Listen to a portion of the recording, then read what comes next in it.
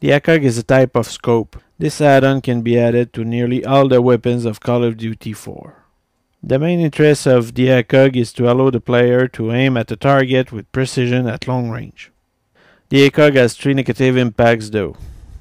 It reduces the accuracy, it limits the view of the player outside of the scope and reduces the movement speed when activated. This means that it is important to activate the ACOG exclusively when the target is acquired in the middle of your reticle. We recommend the ACOG uses, especially at the hardcore difficulty since the enemies are weaker.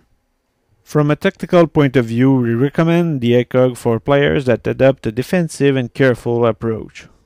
The ACOG leads the player to act as a supporting role and provide cover for his team, staying at a safe distance from the enemies. For a more offensive style, we recommend the use of the red dot sight.